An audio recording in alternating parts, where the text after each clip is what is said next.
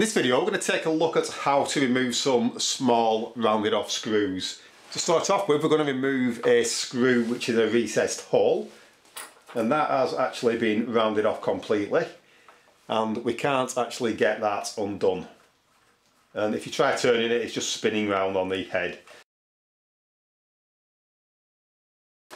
One of the first things you can try is an elastic band. This works very well on some damaged screws. Simply take the elastic band, pull it over the end of the screwdriver a bit like so. And in some cases that will actually enable you to grip the screw and remove it. With this example I don't think it's going to work because it's actually in a recessed hole as well. But we will just give that a try.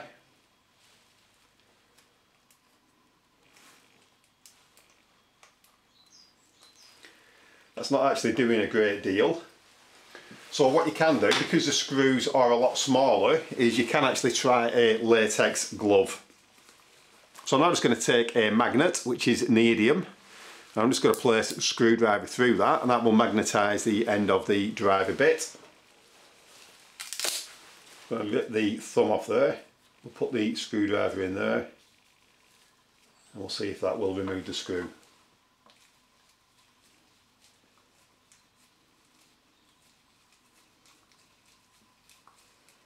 It does feel like it is undoing. And there we go. We've actually got the screw out.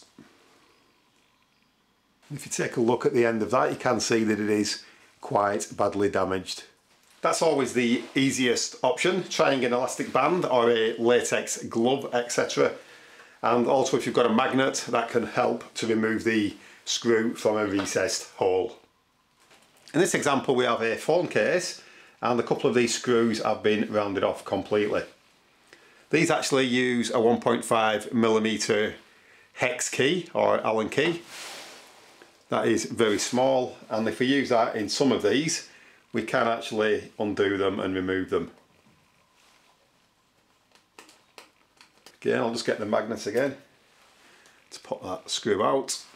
These are so badly stripped that the elastic band method definitely will not work or the latex glove.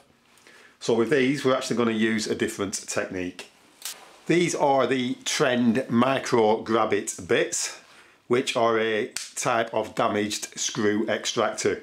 These are designed specifically for use on small screws like this. So what we can do with these is we can take the smallest size, which is that one.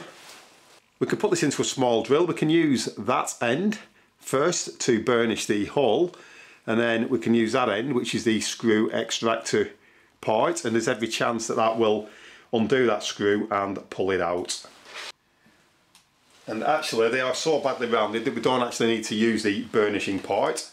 So I'm just going to put this in the drill. I'm ensuring that the drill is in reverse and I'm also choosing the slowest speed. So I'm now going to get the micro Grab-It. I'm going to push that into the screw and I'm going to slowly try to undo it.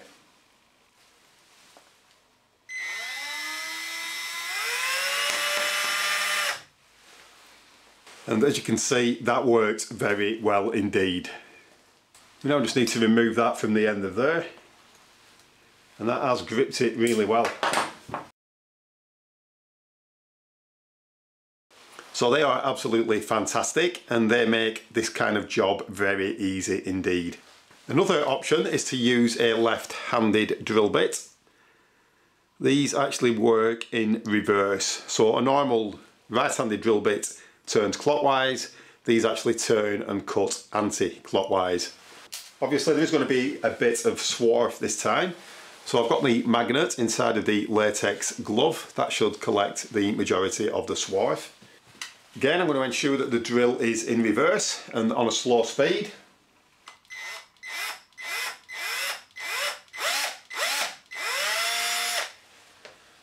As you can see that actually bit into the screw and removed it quite easily. Another thing when you're trying to remove screws is that sometimes the actual thread on the screw itself is damaged or the bit that it is screwed into. And if that's the case, you'll often find that when you are unscrewing it, even if the screwdriver head has got good contact, that you can't remove the screw. So it's always a good idea in examples like that to try and get some kind of leverage under the part that you are removing. So for example, you, sometimes you can use your nail.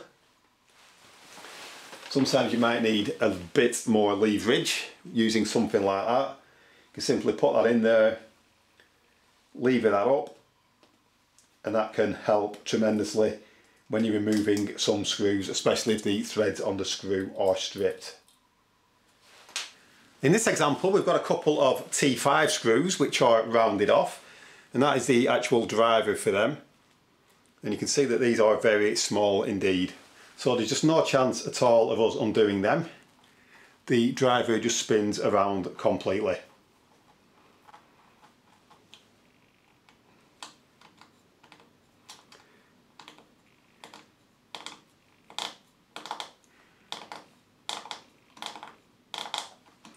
What you can do with screws like this is you can actually try a piece of tin foil, often called aluminium foil. This is what we use when we are baking, etc. And sometimes that will fill the hole enough to enable you to grip it. So I'm just going to put that over the screw. And then I'm just going to press down until I find the hole. And then I'm going to try to undo it.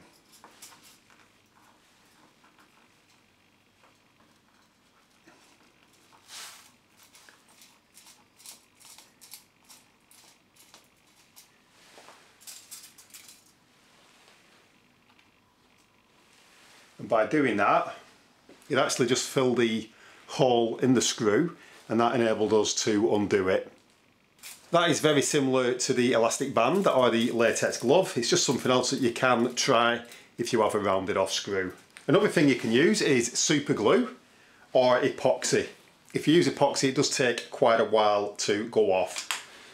So I'll just demonstrate this one again. As you can see that just spins around there completely, it's not gripping to anything.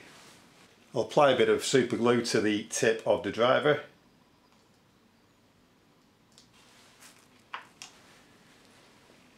I'll then place that in there and we'll just give that a couple of minutes. So that's been in there for about a minute. I'll now see if we can undo that.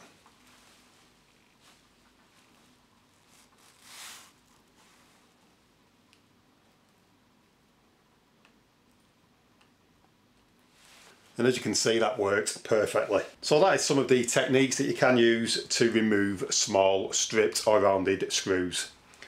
I hope you found this video useful. If you have and you haven't done so already, please subscribe to the channel.